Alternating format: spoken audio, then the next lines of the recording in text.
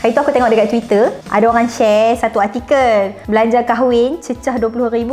Masalah kewangan antara punca orang bujang tidak mampu berkahwin. Dok, dia macam ni. Dia cerita tu kan aku nak sing-sing tangan. RM20,000 tu kalau dapat all set complete makan yang elok. Ni ada, tu ada, semua ada. Murah. Murah. Yang kat Twitter yang duk sembang-sembang kata mahal sangat tu aku tengok kebanyakannya budak-budak lagi. Yang tak bekerja lagi, yang tak merancang betul-betul nak kahwin, yang duk mau nak kahwin, mau nak kahwin, mau nak kahwin tapi tak ada planning. So, bila hang merancang nak kahwin, hang kenalah ada simpanan untuk berkahwin dan untuk kehidupan selepas berkahwin. Bila aku duk survey-survey, memang kebanyakannya adalah RM30,000 lah. Eh kalau RM30,000 dekat KL ni sebenarnya adalah standard untuk rakyat marhain biasa macam kita ni. Okay, so benda ni sebenarnya adalah terpulang kepada masing-masing. Ada orang, dia akan cakap RM20,000 ni mahal. Baiklah kita buat secukupnya, duit lebih tu guna lepas kahwin. Beli rumah, beli perabot, bayar sewa, untuk belanja pergi honeymoon dan sebagainya. Betul tak ada masalah. Tapi bila kita kahwin ni kita jangan duk fikir kita saja. Kita kena fikir mak ayah kita. Mak ayah kita ni kadang-kadang dia nak jemput kawan-kawan, nak jamu orang. So bila kita kahwin tak boleh fikir kita dan kawan kita je. Kita kena fikir mak ayah kita dan family kita juga. Kalau ikut aku ni dulu aku macam cakap, "Mak, Hawa nak kahwin kat masjid je.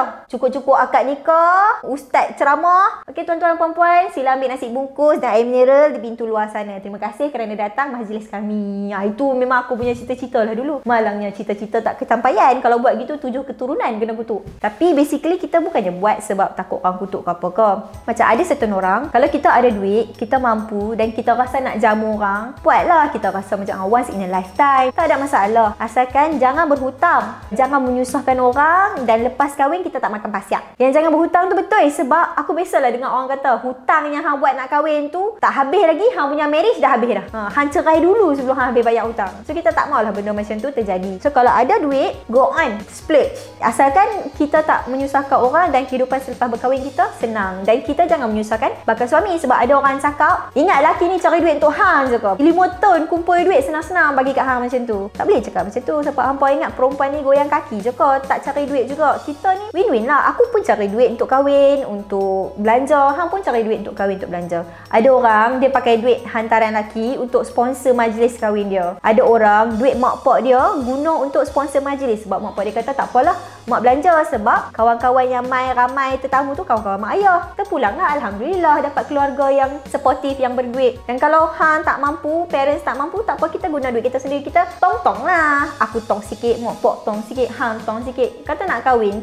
nak kahwin pun dah tak boleh nak communicate. Macam mana lepas kahwin nanti nak communicate, betul tak? Yang penting, hang nak kahwin spend lavishly, belanja banyak ke, ataupun hang nak buat kat dewan community, dewan kemah kat rumah ke, yang penting dua-dua tu jangan riak lah. Sebab ada orang kahwin महाय तू तो willing capacity dia, dia tak rasa riak pun, dia rasa biasa je. Sebab benda tu biasa untuk dia dan untuk orang sekeliling dia. Tapi orang yang kahwin sikit ni, dia akan cakap, aku kahwin sikit je, belanja sikit, boleh pergi honeymoon, ha, tak payah belanja mahal-mahal. Mahal-mahal ni membazir je. Itu pun dah kira riak juga. So, hang kahwin murah ke, kahwin belanja sikit ke, hang kahwin belanja mahal ke, kalau hang riak pun tak ada guna juga. Ada juga case yang mak pak ni dia nak glam, dia nak grand, tapi dia tak mau share. Dia macam mana?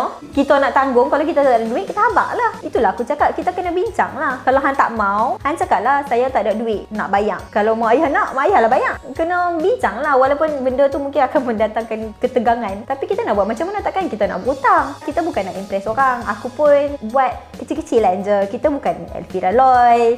Nak buat sampai lima majlis. Kita bukan Fazura. Nak buat majlis khas untuk peminat je. So, kalau kita mampu, buatlah. Kalau kita tak mampu, live within my means lah.